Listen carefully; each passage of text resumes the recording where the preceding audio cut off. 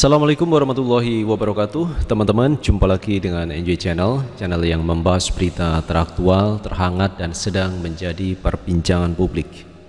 Nah teman-teman kali ini yang akan kita bahas mengenai kasasi yang akan diajukan oleh pihak Habib Rizik Siap Karena setelah Habib Rizik itu menerima vonis di pengadilan tinggi DKI Jakarta di tingkat banding itu teman-teman Habib Rizik difonis 4 tahun penjara. Tentu Habib Rizik tidak menerima, tidak terima difonis seperti itu. Karena apa? Habib Rizik punya alasan apa yang dituduhkan ini dianggap tidak benar. Makanya Habib Rizik ini mengajukan kasus ini ke tingkat atasnya yaitu tingkat kasasi. Ada Kapitra Ampera yang menyarankan Habib Rizik untuk mengevaluasi kembali jika melakukan eh, tingkat kasasi jadi ini adalah uh, pesan atau permintaan sekaligus saran dari Kapitra Ampera. Jadi kalau Habib Rizik mengajukan kasasi ini, uh, Pak Kapitra ini menyarankan untuk dievaluasi kembali. Artinya supaya Habib Rizik tidak jadi melakukan kasasi. Itu kira-kira apa yang saya tangkap yang ada di benak Kapitra Ampera. Nah teman-teman untuk lebih jelasnya kita akan baca beritanya terkait Eh, saran yang diberikan dari Kapitra Ampera ke pihak Habib Rizik Sihab. Kita ambil berita teman-teman dari cpnn.com. Kapitra Ampera menasihati Habib Rizik. Aziz Januar mengatakan salah alamat dia. Jadi menurut Aziz Januar pengacara Rizik, Kapitra Ampera ini salah alamat kalau memberikan masukan seperti itu kepada pihak Habib Rizik. Ex-Sekretaris Bantuan Hukum DPP FPI Aziz Januar merespon pernyataan Kapitra Ampera yang menyarankan Habib Rizik mempertimbangkan lagi rencana mengajukan kasasi atas putusan tingkat banding Pengadilan Tinggi DKI Jakarta. Putusan Pengadilan Tinggi DKI Jakarta pada Senin 30 Agustus 2021 lalu itu memperkuat vonis Pengadilan Negeri PN Jakarta Timur yang menghukum Habib Rizik 4 tahun penjara dalam perkara swab test Rumah Sakit Umi Bogor, Jawa Barat. Menurut Aziz Januar, pernyataan politikus PDIP itu salah alamat. Jadi apa yang disarankan oleh Kapitra Ampera ini justru memperlemah apa yang akan diperjuangkan menegakkan keadilan, membasmi kezaliman ini tidak sinkron dengan yang diperjuangkan oleh Habib Rizik Sihab. Habib siap mengajukan kasasi. Ini malah Kapitra Ampera mohon untuk ditinjau kembali terkait pengajuan kasasi itu. Jadi saya lagi teman-teman semenjak Kapitra Ampera bergabung dengan PDIP ini selalu tidak sejalan dengan perjuangan Habib Rizik Sihab dan selalu memberikan pernyataan-pernyataan yang kontraproduktif dengan perjuangan Habib Rizik. Oke kita lanjut teman-teman. Pasalnya, kata Aziz, Habib Rizik merupakan korban kezaliman. Salah alamat dia komentari Habib Rizik Siap yang jadi korban kezaliman. Kata Aziz melalui pesan singkat kepada cpnn.com Sabtu 4 September 2021. Kuasa hukum Habib Rizik itu menyatakan seharusnya Kapita Ampera mengomentari orang-orang yang menzalimi tokoh asal petamburan tersebut. Jadi yang diminta oleh Januar supaya Kapitra Ampera itu menyoroti kepada orang yang menzalimi Habib Rizik Sihab. Bukan malah ini menjatuhkan, memberikan komentar yang tidak mendukung e, dari perjuangan Habib Rizik. Kita lanjut teman-teman apa yang disampaikan oleh Aziz Januar. Ingatkan mereka tentang azab dan akibat menzalimi orang dan berbuat aniaya serta tidak adil, ujar Aziz Januar.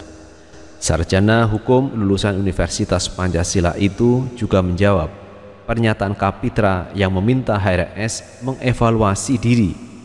Mungkin banyak kesalahan selama ini. Aziz Januar lantas mempertanyakan keadilan untuk Habib Rizik kepada Kapitra bila mana tak menempuh jalur hukum yakni mengajukan kasasi. Menurut pria kelahiran Jakarta itu seharusnya yang perlu mengevaluasi diri adalah hakim. Terus dapat keadilannya bagaimana?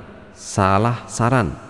yang diminta evaluasi harusnya majelis hakim dan rezim pungkas Aziz Januar sebelumnya politikus PDIP Kapitra Ampera menyarankan Habib Rizik Sihab memikirkan ulang rencana mengajukan kasasi. Nah Kapitra menilai ada baiknya kembali kepada way of life atau jalan hidup manusia dengan berserah diri kepada Tuhan supaya diberi petunjuk. Nah itu teman-teman beberapa masukan saran dari Kapitra Ampera yang saran masukan itu ternyata tidak sinkron dengan apa yang diperjuangkan oleh Habib Rizik di mana Habib Rizik ini kemarin mengajukan banding setelah putusan di tingkat pertama Pengadilan Negeri Jakarta Timur yang memfonis Habib Rizik dengan empat tahun penjara lalu Habib Rizik mengajukan banding di Pengadilan Tinggi DKI Jakarta dan di tingkat banding itu teman-teman ternyata Habib Rizik juga dijatuhi hal yang sama 4 tahun penjara. Jadi memperkuat dari putusan tingkat pertama. Nah, karena Habib Rizik tidak terima, tentu Habib Rizik mengajukan eh, tingkat yang lebih tinggi yaitu tingkat kasasi kepada Mahkamah Agung. Karena dengan apa yang ditempuh oleh Habib Rizik ini sesuai dengan prosedur hukum memang begitu.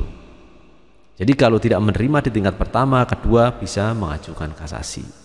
Nah, upaya Habib Rizik ini tentu penuh dengan perjuangan, mengorbankan waktu, biaya, tenaga, itu ditempuh Habib Rizik dalam rangka adalah untuk mendapatkan keadilan.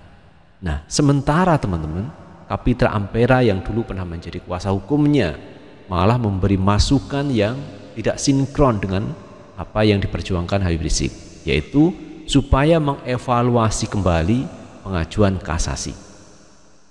Jadi menurut Aziz Januar, apa yang menjadi saran masukan dari eh, Kapiter Ampera ini adalah salah alamat supaya Kapiter Ampera itu justru memberikan saran masukan kepada pihak hakim, kepada pihak yang menegakkan keadilan. Apa ada yang salah yang dijatuhkan oleh pihak hakim? Nah teman-teman kalau kita melihat kasus yang dialami oleh Habib Rizik ini sebenarnya banyak eh, kesamaan dengan kasus yang lain seperti kasus kerumunan. Kemarin ada pejabat negara yang bagi-bagi hadiah sehingga menimbulkan kerumunan. Itu ada dua kali kalau kita melihat. Dan ini tidak menjadi masalah. Tetapi jika yang melakukan itu Habib Rizik tentu akan menjadi masalah. Kemarin Habib Rizik di persidangan pernah menyampaikan bahwa ada pejabat negara yang melakukan pertemuan berupa pengajian ini mengumpulkan orang yang cukup banyak. Tetapi itu pun juga tidak ada masalah. Itu sudah diungkap di sidang pengadilan oleh Habib Rizik. Nah, kalau kita melihat itu semua teman-teman, harusnya pihak penegak hukum itu adil. Jadi kalau Habib Rizik diadili seperti itu, dihukum di penjara yang sudah dilalui adalah 8 bulan, maka harusnya hal yang sama ketika orang melakukan yang sama yang seperti Habib Rizik lakukan juga harusnya diproses. Tetapi ini tidak diproses. Nah, kalau tidak diproses, tentu harusnya Habib Rizik juga dibebaskan demi keadilan. Tetapi yang terjadi kan tidak. Habib Rizik terus diproses kasusnya sampai hari ini dan Habib Rizik dijatuhi hukuman Eh, kasus data swab rumah sakit Umi dengan empat tahun penjara. Karena itu Habib Rizik mengajukan kasasi. Nah, itu teman-teman historinya atau sejarahnya kenapa Habib Rizik mengajukan kasasi eh, ke Mahkamah Agung. Karena apa? Habib Rizik ingin mendapatkan keadilan. Itu teman-teman yang bisa kita bahas kali ini dan bagaimana menurut pendapat teman-teman sekalian tulis di kolom komentar karena komentar teman-teman akan sangat bermanfaat untuk yang lain. Dan terakhir, jangan lupa tetap like, subscribe, share, dan komen di channel ini agar kita bisa membangun channel ini menjadi lebih baik lagi. Sukses selalu. Assalamualaikum warahmatullahi wabarakatuh.